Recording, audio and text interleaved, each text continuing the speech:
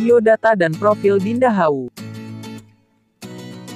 Masih ingat tokoh keke yang ada dalam film Surat Kecil untuk Tuhan?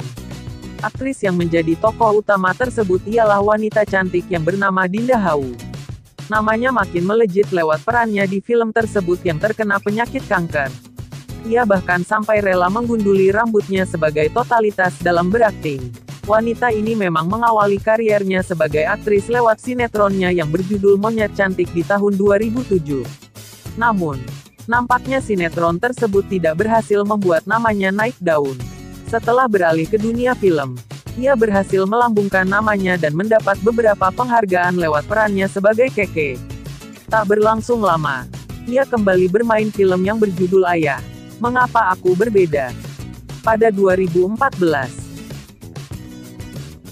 Nama lengkap, Nyimas Hodijah Nastiti Adinda. Nama panggung, Dinda Hau. Nama panggilan, Dinda. Tempat tanggal lahir, Palembang.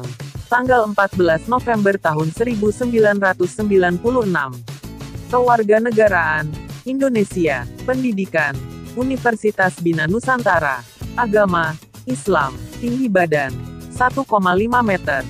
Orang tua, Kemas Herman Ayah Kulwati Husna Ibu. Suami, Rembayang, menikah 2020. Profesi, aktris.